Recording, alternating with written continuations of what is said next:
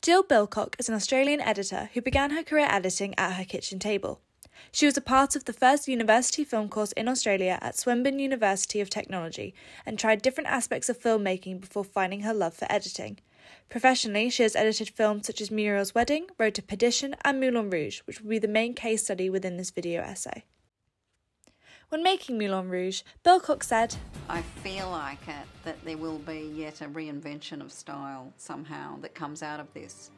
And that's when I do all those little clips and things. Sometimes I stumble across something that I find can unlock a door to push it into another area stylistically. Throughout the film, Bilcock's editing allows for the narrative to continue whilst also having a hyperkinetic style which the film is so famous for. However, this style was not always typical for Hollywood. Edwin Porter, who was one of the first great editors, discovered that by cutting film and placing certain pieces next to each other, you could create a narrative. He made the films Life of an American Fireman and The Great Train Robbery. It was later that D.W. Griffith pioneered the idea of an invisible cut, shifting from close ups to master shots without the audience noticing, so as not to break the illusion that you were watching a film. However, Bilcock's edits are noticeable, breaking this illusion. For example, when we are first introduced to Satine, she enters the Moulin Rouge singing the lyric The French are glad to die for love. As soon as the word die is sung, Bilcock cuts to a scene from the finale of the film when Satine dies. Although it is not a shock to us that Satine will die, as it is told to us at the beginning of the film, it hits us harder when we are shown two juxtaposing clips of Satine being happy and then her succumbing to her fate. The graphic match itself is quick. It is down to the audience to look out for it, but once you notice it, the scene becomes more heartbreaking due to the carefree Satine we see in one moment to a dead Satine in the next. By putting this graphic match paired with the lyric, Bilcock is playing around with narrative and reminding the audience that this is in fact not real.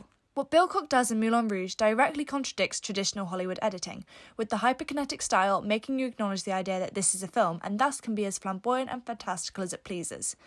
An example of this is when we are first introduced to the location of the Moulin Rouge. Within the first 30 seconds of this scene, there are around 40 different cuts.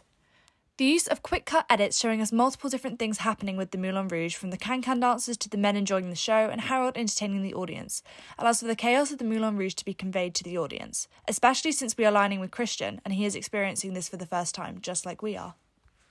This use of editing truly lets us be immersed in this new world and allows for the Moulin Rouge's own character to be established, not to mention this whole sequence is a musical number, so rhythmic editing is crucial to allow the flow of the scene to not be broken and the timing of the shots to fit with the song. This is something Bilcock says is very important to her as an editor. Editing is about having hundreds of options. You have to decide, first of all, what emotionally touches you. You also edit for structure, and then you, most of all, edit for rhythm. The way Bilcock edited Moulin Rouge differs to the way most films are typically edited. In his book, In the Blink of an Eye, Walter Murch, editor of Apocalypse Now, describes editing using the metaphor of a beehive being moved. Murch says a beehive can apparently be moved two inches each night without disorientating the bees the next morning. Surprisingly, if it is moved two miles, the bees also have no problem. They are forced by the total displacement of their environment to reorientate their sense of direction, which they can do easily enough.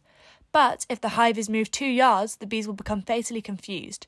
The environment does not seem different to them, so they do not reorientate themselves. By this, Murch means that by putting two images together that differ, an audience can notice that they are somewhere different and process what is happening. However, if you put clips together that can be too similar, it will confuse the audience as we are seeing too much of the same in the single scene. What Bilcock does with Moulin Rouge goes against what Murch says, allowing for the erratic state of the Moulin Rouge to be displayed to the audience, thus altering the traditional grammar of editing.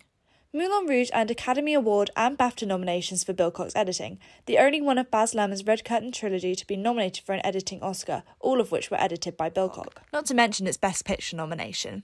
The way she edits allows for the audience to be fully immersed in the film and the fantasy side of the world, with edits that shape the narrative with a uniqueness only she can achieve.